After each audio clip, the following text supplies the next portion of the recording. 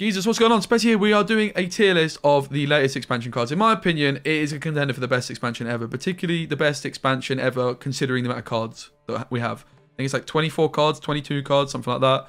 Um, I think it's been absolutely brilliant. There's still so many things to try out that I haven't got to, but we're going to do a tier list, which my moderator, Kedgeling, shout out to Kedge, um, put together. So thank you for that. We've got Broken Mate, the Traveling Priestess is probably going to be in here. uh, we've got the Popping Off tier. We've got the Decent, Not the One, and the Dead tier. So, yeah, let's crack on without any further ado. Also, if you guys don't follow me on Twitch, I'm doing this live. So, Twitch chat's here. Twitch.tv forward slash specimen. Make sure you come hang out there. All right, we're going to do the neutrals first. Uh, we've got Aerondight. Now, this card is controversial because I don't think it's as good as people expected at times because the problem with this card is it's incredibly high variance, particularly uh, from whether you're on blue coin or red coin. So blue coin is when you go first. And when you go first, Aerondight is just going to be getting much more value. However, then, that means if you're on red coin, it's often difficult to catch up to your opponent. Let's say they open with um, a magic lamp and emissary. You're already, you know, like 11 points down or whatever. Like, you're going to need to make an 11 point play for your Aerondight to tick. Whereas if you're going first, all you need to do is flip your lamp and literally discard a card and your Aerondight's ticking. So the variance of this card is really, really high.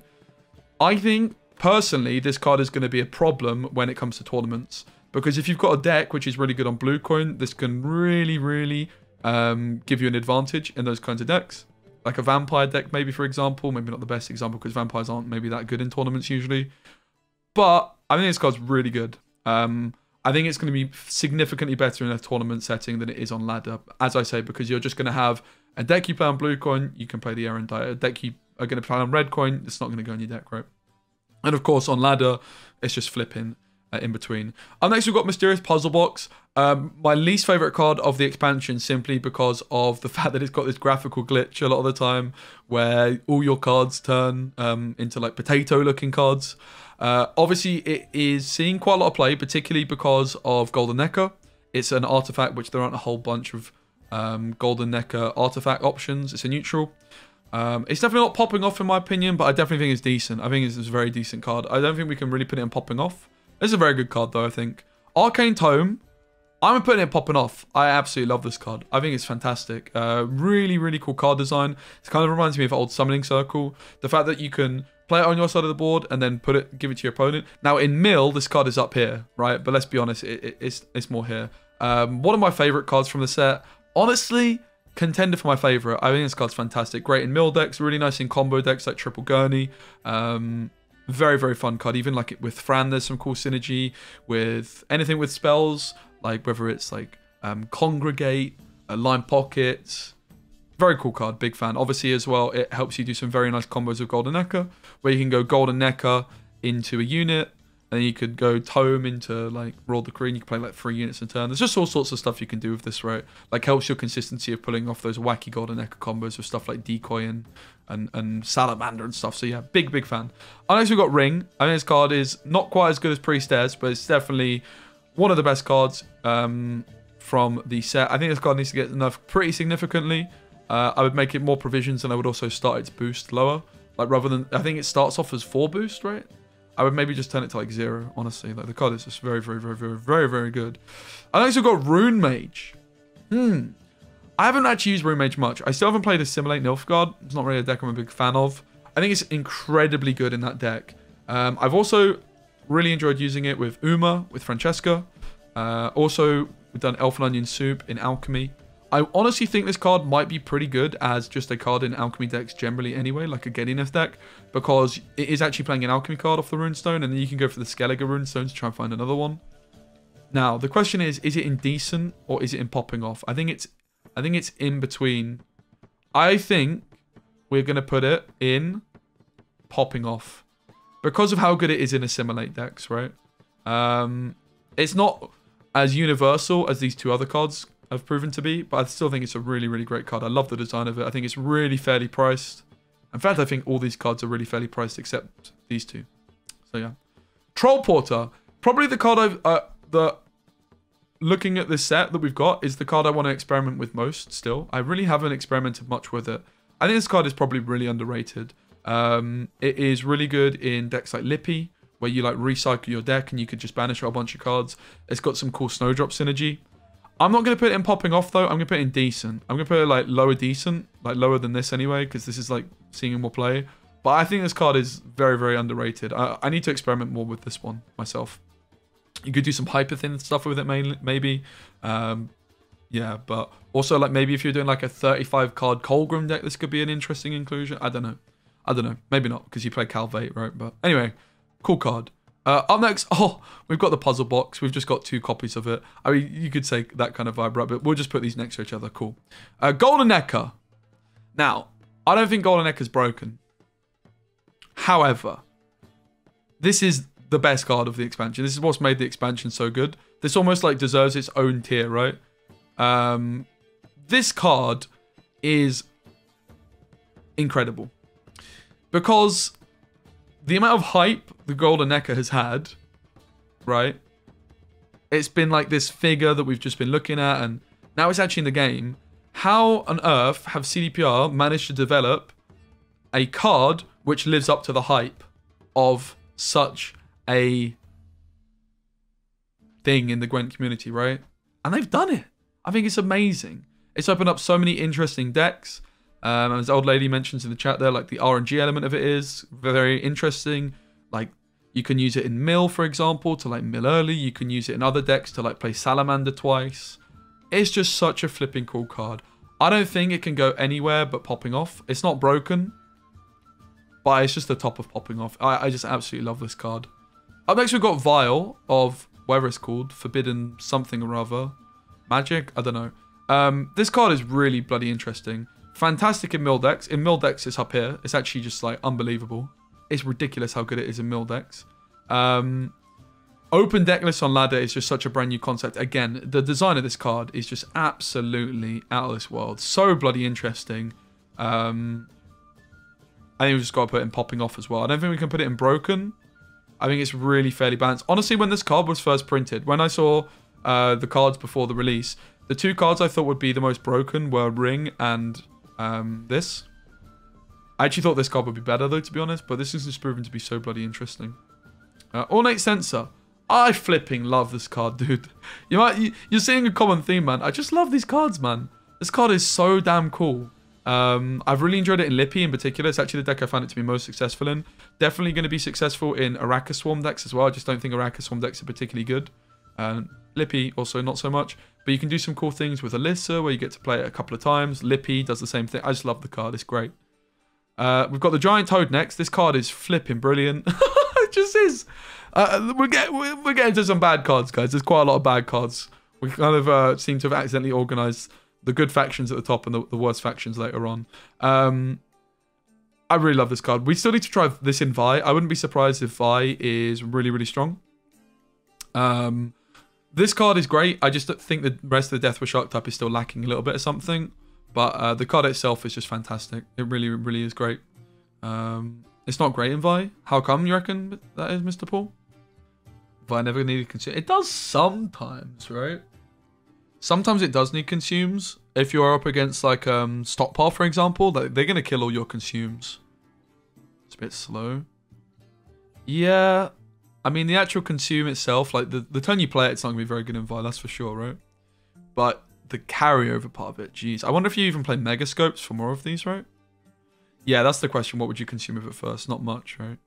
You maybe start playing like Foglets, double Foglet. You could also play Megascopes for carryover on this. Three point Megascope for a consume carryover. Because you just don't have to like wait like the it's slow the turn you play it, but the tempo you get the following turn, the following round, right? By just being able to play Viy without having a consume on the board. So good. Usually do not play Deathwish units in Viy. Yeah, but you just start playing them with this now, right? We'll play Viy actually. Maybe we could even do that now. Probably tomorrow. Okay. Yeah, this card, like, maybe it proves not to be that great in Viy, but the card is great anyway, right? It really is a great card. It's also got a Beast tag, which is kind of cool for Morvard, which is a card I really like. We've got Necromancer's Tome. This card is popping off. Um, probably going to put it, like, here. Uh, lots of people playing this in Vampires with Golden Nekker. I wouldn't be surprised if Regis Tome is, is pretty good as well. Um, I think Regis is too good to cut. It's like the best card in Vampires. It's even better than Fledders. So I don't really like the Golden Nekker version so much. They're, I mean, they're cool, but yeah, this card's really interesting. You can do some cool stuff with relics with it. Uh, it can completely whiff. Obviously, it makes sense with Golden Nekker being the fact that it's an artifact that you can pull with Nekker. Uh, very, very cool card. We've got the Highland Warlord. I'm going to put this in not the one. I do think the card's actually pretty good, though. I do think the card's pretty good, but I don't think I can quite put it like. I think the, the, these cards are like actually very good. I think this. Oh, maybe maybe this card's good. I just have never played it that much. This card is really good. It's more like the deck that it, that is is supported by this card is not that good, right? We'll put it in decent. This card's definitely decent. I don't think we can put it in popping off because even though the card maybe itself is like very good, the deck which supports this is not great in my opinion. I still haven't really played it much though. Um, okay, I'm not going to put it although I'll put it in decent. I think you guys are right. I'm going to put it below the. I think these cards are great. Troll Porter and Puzzle Box are really, really great cards. So we'll put this in decent too. All right. We've got Magic Compass. How's Troll decent? I think this card's really underrated, Habla. I haven't really fiddled with it too much yet. But um, I think the card is really, really underrated. Like, it's just so much... You get so much consistency with this. In like a Lippy deck, for example, you could use this, right? and like banish loads of your deck. Uh, like if you're playing like Rodeo Shoop, Lippy, you could play Troll Porter. Like banish all the bad cards, and then Lippy, and then you're just gonna top deck all the all the juice, right?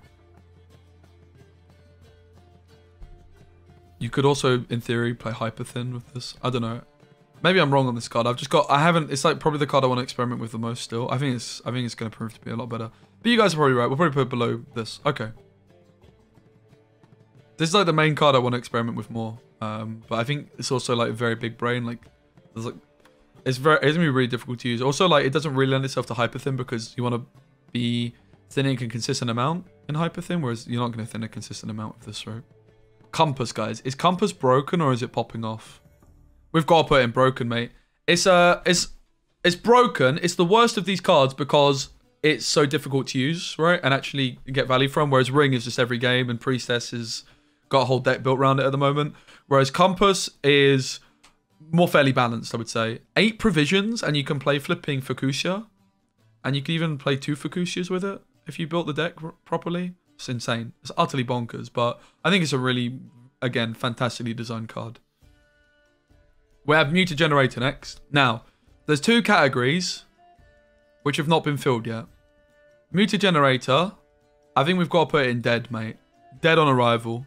Um, you can do some stuff with commandos with this, but I, the deck's going to be better without it.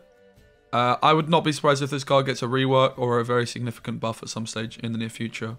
Maybe you can make it a bronze card? I don't know. Maybe its ability is fine for bronze. Muta is great. My commander set was so good with it. I still haven't properly played it. I still haven't properly played the card. Um, but my gut feeling is it's shit. Now this is a good time to just like rearrange. Gresh's impact on the tier list is popping off. Yeah, he does. The guy does know what he's talking about a bit, and he does speak some sense, to be fair. All right, I feel this, this is more reasonable. All right, up next we've got the Conjurer's Candle. I think this card's fantastic. I wouldn't say it's broken, but it's kind of close to being broken. I'm going to put it here. Um, it's carryover, it's profit. It gives you some spenders um, without having jackpot passive. Um, it's golden Nekker pool. You can buff stuff up like a Czar. Uh, this card's great. We still need to play more Salamander. Um, I'm just going to use old school Salamander with King of Beggars, and this card is just unbelievably good in that deck as a way of buffing up your defender and stuff. I think it's absolutely insane how good this card is. Alright, this, this other card, this card's popping off, right? Would we ever say this card is broken? Would we ever put this in broken? I don't know if I put I don't know if I describe it as broken, but I do think it's amazing. Off the book synergy, line pocket synergy, probably the two best leaders at the minute. Honestly, I think it I think it deserves to be there. I think it deserves to be there. It's got King of Beggars synergy. You can search for a poison. You can just do anything you want, right? I love the card too. It's really, really cool. Actually, interestingly, in PTR, this card like was designed slightly differently, and it was really, really janky and awkward. So they did a great job to actually make it competitive. I think it just needs like a slight nerf, probably. Probably, maybe just like a point off of it. Yeah, I think Vendor's got to be there. It's obviously not on the same level as these two, right? But, yeah. Next up, we have uh, the Giant Slayer. Now, interestingly, uh, Scoia'tael, Mahakam Forge decks are, even if you don't go all in dwarfs, like, there's some really flipping good bronzes there now. Like the four provision ones. And this is another one that's like really good, but it's a six provision one. Um, I think due to the amount of competition in the bronzes, we're going to put in decent. I don't think the card's really good though. It's better than the Warlord. Better than this. Probably better than Censer. Probably here. Um, I think if you're playing this card, I actually wouldn't. I would actually argue if you're playing this card, you should play both of them. And you should also be playing like Zoltan and Gaboro. Because you're just, or, or like Defender maybe. Just trying to overload the Purify, basically. Yeah, the card's really, really good actually. But I'm not going to put it in popping off just because of how much competition there are for um, cards in Dwarfs. Like, Dwarfs have so many flipping good uh, cards that you actually, yeah, a lot of the time you might not even play the card. But it's still really good. It's just the Dwarfs have so many cards which are just insanely good. Prism is better than Muta Generator. But it's not, it's dead. We've played Prism in Dwarf deck. It's going to be up on the YouTube. If it's not already, it's going to be up soon. It performed okay. It did. But it, it, the deck would have been better without it. So... Um, I know Crozier's played like over 100 games with this card trying to get it to work and hasn't really had much joy. Something Crozier's mentioned he would like to see is like it spawning maybe a couple of like Wandering Treants when you play it or something. Just because a lot of the time with the, if you try and buff a lot of your own cards up, you have like too much vitality. That's just kind of scuffed. Uh, unless we've got Prophet. Uh, yeah. It's probably the worst card of the set, right? We've done All-In Prophet. It was garbage. We did beat Mill though. That was cool. we did manage to beat Mill. Uh, we tried Prophet with Golden Nekker where you go Golden Nekker into Prophet, into Ethereal, to transform the Prophet, to then hope that your opponent's hand stays locked after they play something. It doesn't work. This is the worst card of the drop. Finally, last but not least, we have Obsidian Mirror. This is a four provision tactic that he's probably not going to see any play ever. However, However, there is a shining light, which is 35 card Colgrim decks and like Enslave 9 or 10 or whatever you can do. I'm putting not the one. Because at least it has some use. I don't think that it's ever correct to put any of these cards in your deck. Apart from maybe Commandos. Yeah, maybe maybe do it like that then. Nah, but then Trollport's got to go up, man. I think let's do it like this. I think like, you could make a case to say this card could... I, I don't know on this. It could end up down here once I've tested the deck more. But this has some cool uses of commandos. Where, like, if you've got, let's say, nine commandos in deck and you play a five... And then you play the commando, right, from hand, then those all those nine... Those, com those commandos all get boosted. So that's kind of cool. Whereas these two cards are, like, never, ever going to see play. Like, you could probably make a case for this. And you can make a case for this. I think this is my tier list. I think I'm quite happy with it. What do you guys think? Is there anything you would change? You could definitely make a case to like relegate these two. But I think they both deserve to be there. Like, like these two cards like maybe deserve their own tier, right? But um Yeah. Your control and generator down a tier. Maybe. I could also see that. I could see that. Honestly, this is probably more fair. I think this is probably more fair. I kind of agree with that, honestly. So that's my tier list. I hope you guys enjoyed the tier list. If you want to see me do tier lists of other things, uh, And write, let me know. Hope you enjoyed the video. Make sure you like it. Check me out on Twitch, twitch.tv forward specimen. If you've watched this far, please leave a comment. The keyword is eyes.